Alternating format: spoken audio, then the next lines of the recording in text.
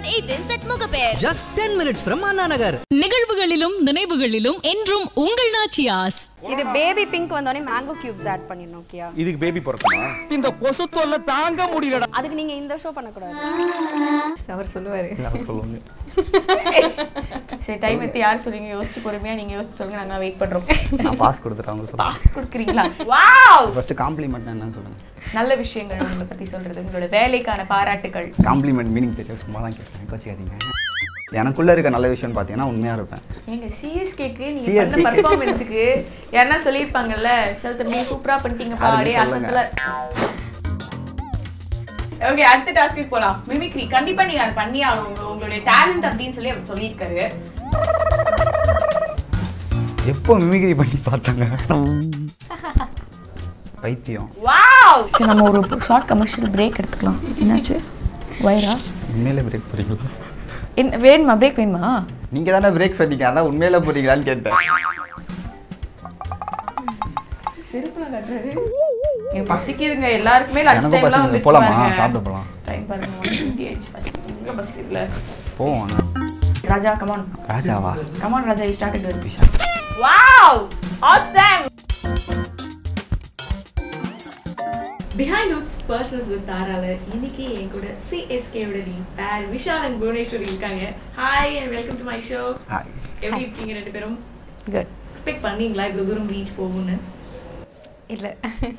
Actually எங்களுக்கே தெரியாமல் இப்போது சடனாக நம்மளை யாராவது பார்த்துட்டு நம்ம கூடவே இருக்கிறவங்களுக்கே நான் தெரிய மாட்டேங்குது. நீங்கள் தான் பண்ணியிருக்கீங்களா அப்படின்னு சடனாக எங்கேயா பார்த்துட்டு கேட்கும்போது அது ஒரு ஹாப்பி ஃபீல் தருது. ஸோ இப்போ சிஎஸ்கேனால ஓரளவுக்கு விஷால் ப்ரோ அப்படின்னு சொல்லிட்டு ஒரு டூ மினிட்ஸ் நின்று பேசிட்டு போகிறாங்க ஸோ அது வந்து ரொம்பவே ஹாப்பியாக இருக்குது ஃபுல் ஹார்ட்டடாக பேசுகிறாங்க எல்லாரும் இப்போ. ஓரளவுக்கு அது ஒரு மாதிரி சந்தோஷமாக இருக்குது ஸோ சிஎஸ்கே ரொம்ப கேட்சியாக இருக்குது அதுவும் வந்து ஐபிஎல் டைமில் வந்து ரிலீஸ் பண்ணியிருக்கீங்க ஸோ சிஎஸ்கே அப்படின்னு அந்த டைட்டிலுக்கு பின்னாடி.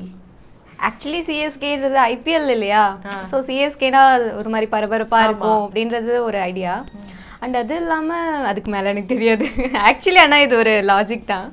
சிஎஸ்கே ஐபிஎல் மேட்ச் நடந்துட்டுருக்கு. ஸோ நம்ம டீமோட சென்னை இது வந்து சிஎஸ்கே ஸோ அதனால. சிஎஸ்கேனா எல்லாருக்குமே பிடிக்கும் உங்களுக்கு பிடிக்காதா சிஎஸ்கே யாருக்கு பிடிக்காது? அவங்க எல்லோலலாம் வந்து ஆமா சிஎஸ்கேக்கு விசில் போடுவோன்றதுக்காக எல்லோ. அந்த எக்ஸ்பேன்ஷன் நீங்களே உங்கள் வாயால் சொல்லிடுங்க. சிஎஸ்கேக்கு கூல் அண்ட் ஸ்பைசி கல்யாணம். அது என்ன? அது என்ன கூல் அண்ட் ஸ்பைசி கல்யாணம்? அது உள்ள கண்டென்ட் வச்சு எழுதணும். அது அது கூட அப்படியே சிமிலர் ஆயிடுச்சு. ஆயிடுச்சா? அப்படியே வச்சுட்டோம்.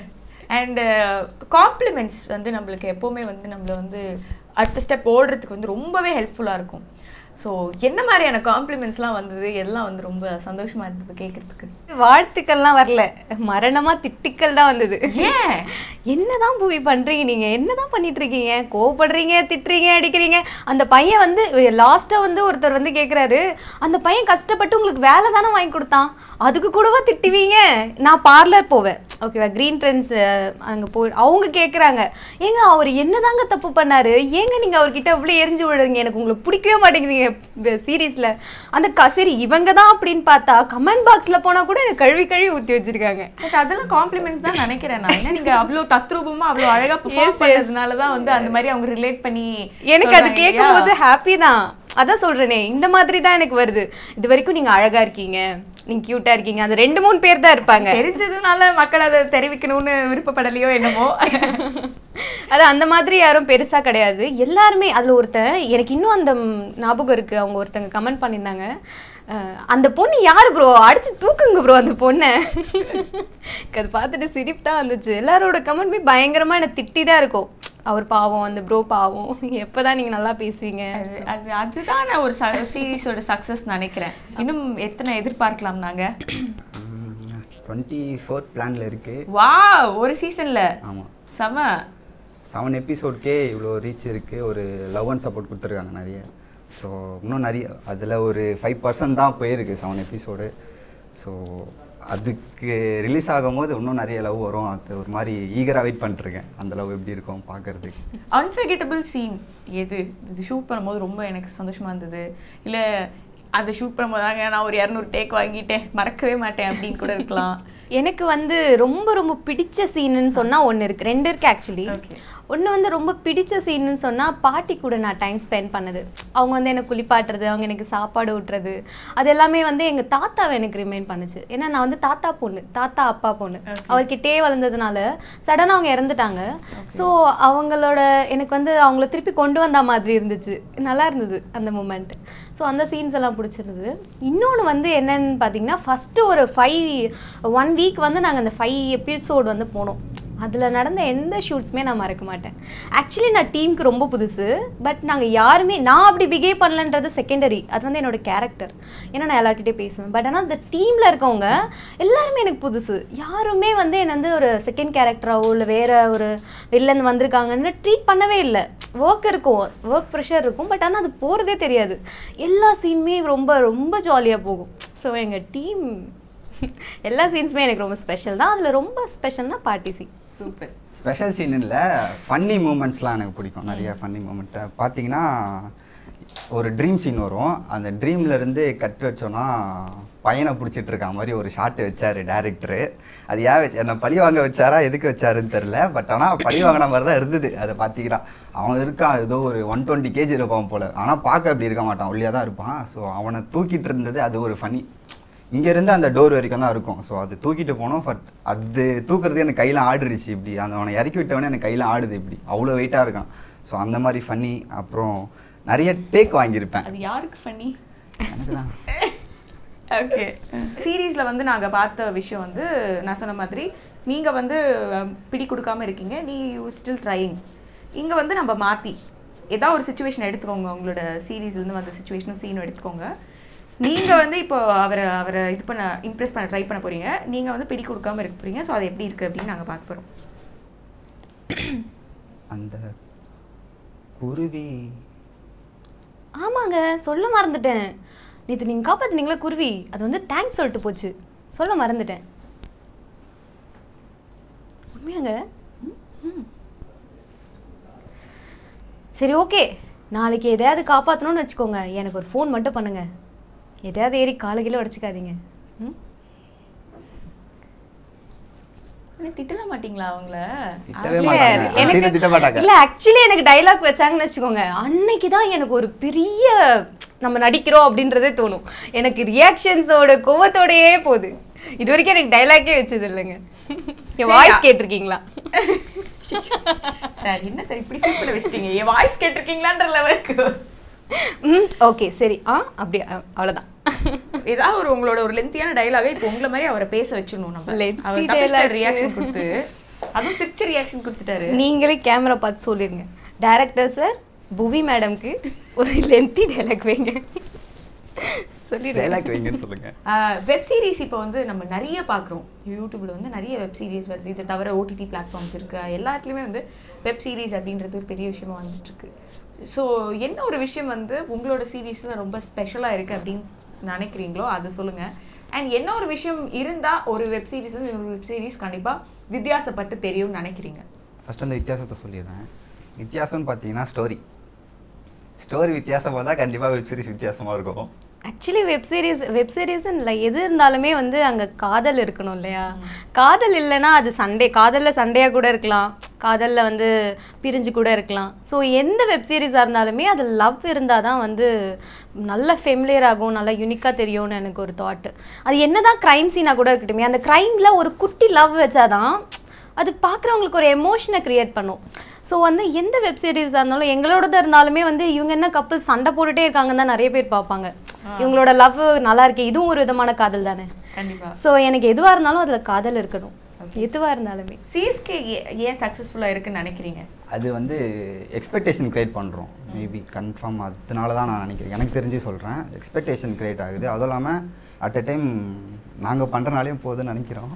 ஸோ இந்த சிஎஸ்கேயோட சக்ஸஸ்க்கு காரணம் நீங்க தான் சொல்றீங்களா? இல்லை அப்படி நாங்கள் சொல்லக்கூடாது. இப்பதானே சொன்னீங்க. இல்லை இல்லை நான் அப்படி சொல்லல. நான் அப்படி சொல்லவே இல்லை. ஸ்டோரி டீம் ஒர்க் கண்டிப்பாக டீம் ஒர்க் டீம் ஒர்க்னால தான் கண்டிப்பாக ஓடுது. ஒரு டாஸ்க் நல்லா யோசிச்சு வைங்க. தம்பியை செய்யற மாதிரி ஓகே மாட்டி விடாம எல்லாத்தையும் பார்த்தாச்சா ஸோ யாருக்காச்சும் பிராங்க் கால் பண்ண சொல்லலாம்.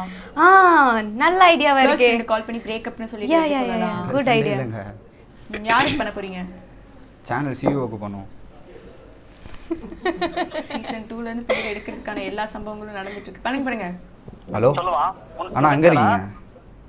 சன் டிவில சன் டிவியில் அங்கே என்ன பண்ணுறீங்க எனக்கு பிடிக்கல இந்த இன்டர்வியூ வந்து கூப்பிட்டு போங்க. ஏங்க உங்களுக்கு பிடிக்கலையாங்க எனக்கு பிடிக்கலங்க. நீங்க பண்றதெல்லாம். ஏங்க எனக்கு பிடிக்கலங்க. அண்ணா எனக்கு பிடிக்கல நான் வாங்க நான் கார் எடுத்துட்டு வாங்க. சார் என்ன. சார்? ப்ரிப்பரேஷன் இல்லாம இன்டர்வியூ வந்திருக்காங்க. என்ன சார் இது? என்னாச்சுப்பா பிடிக்கலண்ணா எனக்கு கிளம்புண்ணா வாங்க நான் கார் எடுத்துட்டு போவோம் நான் டென்ஷனாக இருக்கேன் இல்ல வேற ஒரு நாள் கூட பிளான் பண்ணிக்கலாம் இல்லையா சார் அவர் இன்ட்ரெஸ்டடே இல்லாத மாதிரி தான் இருக்காரு. ஆ அப்படிலாம் இல்லைண்ணா. கொஸ்டினே கேவலமாக இருக்குண்ணா. நல்லாவே இல்லைண்ணா. என்ன மாதிரி கொஸ்டின் கேக்குறாங்க? டாஸ்க் கொடுக்குறாங்கண்ணா. சீரியஸ்ல உங்களுக்கு பிடிச்ச சீன் என்னன்னு கேட்டேன் சார் அது கூட அவருக்கு தெரியலனா நான் என்ன சார் பண்றது? இதுக்கு மேல எப்படி சார் நான் ப்ரிப்பேர் பண்றேன் அவங்க சீரியஸே பார்க்கலண்ணா. போய் சொல்கிறாங்கண்ணா அவங்களோட யாரு யாருக்கு அவங்களுக்கு போன் ஆ அதெல்லாம் விடுங்க. நான் பார்த்துக்கலாண்ணா. நான் வாங்க நீங்கள் வாங்க. நம்ம கிளம்பலாம். வேறு ஏதாவது இன்டர்வியூ பண்ணிக்கலாம். எனக்கு- விஜய் ப்ரோ சண்டை போட்டு கீழே போயிட்டாரு. ஆமாண்ணா வெளில போயிட்டாருண்ணா. டீ குடிக்க போயிட்டாரு. இது வரைக்கும்? இது வரைக்குமாண்ணா கேமராமேன் கிட்ட தான் கேட்கணும் தேர்ட்டி மினிட்ஸ் போயிருக்கோண்ணா ஆமாண்ணா. பிடிக்கல எனக்கு பிடிக்கலண்ணா சுத்தமாக பிடிக்கலண்ணா வாங்கண்ணா. விஜய்குமார் வெளில போயிட்டானா? ஆமாம் விஜயகுமார் கீழே போயிருக்காரு. எதுக்கு போயிருக்காரு? தெரிலண்ணா சண்டை போட்டுட்டு இருந்தோம். அவர் டென்ஷனாகி வெளில போயிட்டாரு. கத்திட்டு போயிட்டாரு. டோர் வேறு லைட்டாக உடஞ்சிடுச்சு. ஒரு நிமிஷம். ஒரு நிமிஷம். விவரங்க ரிசனிங் லெட்டர்னு வாட்ஸ்அப்பில் அனுப்புகிற டாக்குமெண்ட்டாக தயவு செஞ்சு நீ வெளில போயிட்டு சூப்பருங்க.